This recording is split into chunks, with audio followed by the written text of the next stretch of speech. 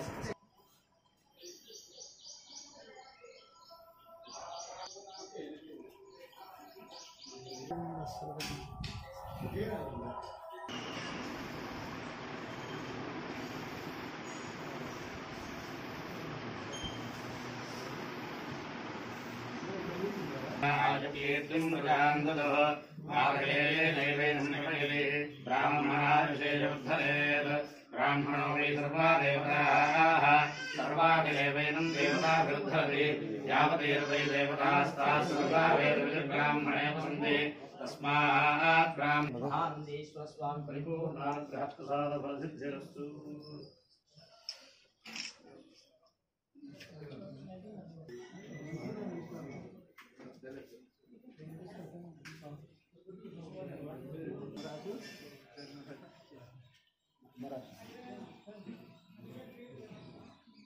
నాలుగు ఉన్నాయి వాళ్ళకి బ్యాక్ సైడ్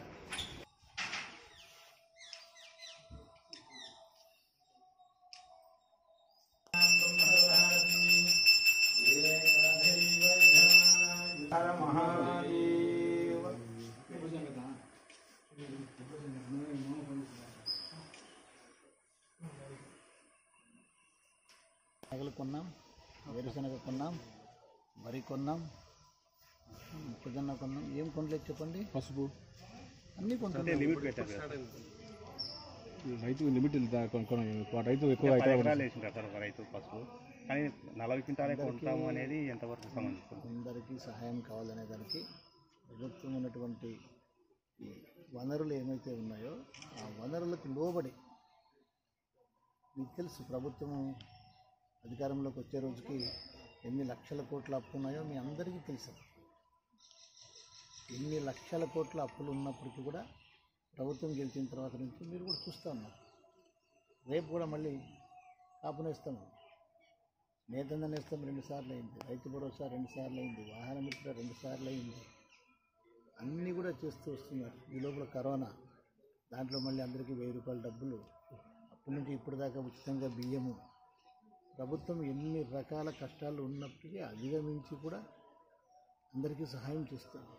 పేదలకైతే బియ్యం ఇచ్చారు కానీ దానికి సంబంధించి ఆయిల్ కానీ కొన్ని నిత్య- నిత్యావసర వస్తువులు అందజేయడం విఫలమైంది. శనగలు కూడా ఇచ్చారు.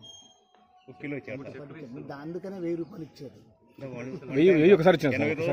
వెయ్యి రూపాయలు ఎందుకు ఇచ్చామంటే దాంతోపాటు బియ్యంతో పాటు నూనె అది కొనుక్కోవడానికి. వెయ్యి సెంట్రల్కి వచ్చింది సార్. ఐదు వందలు ఇచ్చండి మీరు చాలా కన్ఫ్యూజ్ చేసి మాట్లాడతారు. చాలా మంది చూశాను.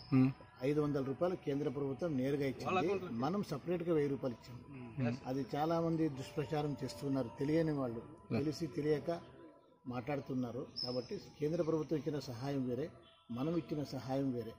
కేంద్రం కూడా ఇంకా సహాయం చేయాలి. ఎందుకంటే ఇది అనుకోని విపత్తు. జాతీయ విపత్తు అనేది అనుకోని విపత్తు. మీ అందరికీ తెలుసు కదా మన వనరులు ఏంటి. మన పరిస్థితులు ఏంటి? ఈ కరోనా వల్ల మళ్ళీ కూడా మనకు రాబడి కూడా బాగా తగ్గిపోయింది. మనం అధికారంలోకి వచ్చేటప్పటికే దరిదాపు మూడు లక్షల పైన కోట్లు మూడు లక్షల కోట్ల అప్పు కదా. తర్వాత తెలిసింది సబ్సిడీలు పెండింగ్ పెట్టున్నారు. ఫీజు రియంబర్స్ పెండింగ్ పెట్టున్నారు. బిల్లులు పెండింగ్ పెట్టున్నారు. సచివాలయం క్యాంటీన్లో తాగిన టీ కాఫీల బిల్లులు కూడా పెండింగ్ పెట్టిపోయినారు టీడీపీ వాళ్ళు. ఇది గుర్తుపెట్టుకోవాలని తొమ్మిది వందల ఐదు కోట్లు సబ్సిడీలు ఇవ్వలేదు. రెండు వేల పద్నాలుగు తెలుగుదేశం అధికారంలోకి వచ్చినప్పటి నుంచి ఇవ్వలేదు. ఫీజు రియంబర్స్మెంట్ నాలుగు వేల కోట్లు పెండింగ్లు. ఏదో అప్పు లక్షల కోట్లు అప్పే అనుకున్నారు. తర్వాత తెలిసింది బకాయిలు ఇంకా చాలా ఉన్నాయని. అప్పులు ఉండి బకాయిలు తీరుస్తూ తొమ్మిది వందల ఐదు కోట్లు సబ్సిడీలు ఇస్తూ నాలుగు వేల కోట్ల ఫీజు రియంబర్స్మెంట్ ఆరోగ్యశ్రీ ఎంత పెండింగ్ ఉంది ఎక్కడి నుంచి తేవాలి? అని జగన్మోహన్ రెడ్డి గారు కాకుండా ఇంకా ఎవరు అయ్యున్నప్పటికీ కూడా ఇలాంటి సంక్షేమ పథకాలు ఈ కష్టకాలంలో వచ్చి ఉండేవే కాదు. సార్ సెంట్రల్ గవర్నమెంట్ వరికి ఒక కిలోకి వచ్చేసి యాభై పైసలు పెంచింది సార్.